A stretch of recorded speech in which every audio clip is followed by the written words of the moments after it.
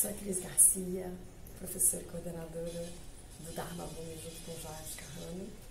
E hoje, nessa data super especial, Dia Internacional do Yoga, para para reforçar que yoga é para todas as idades.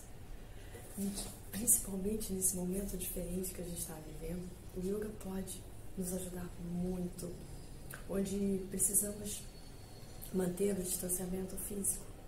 E nossas crianças e nossos idosos foram os que mais sofreram com tudo isso.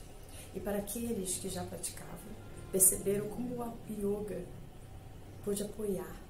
Para aqueles que começaram a praticar durante a pandemia, como o yoga pôde contribuir para o bem-estar. E para você que ainda não começou, fica o convite a começar a praticar o yoga, ter essa experiência.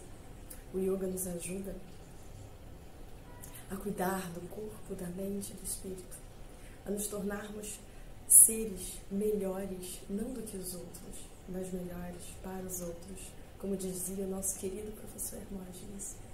O yoga nos ajuda a buscar esse autoconhecimento, a ter mais paz, equilíbrio.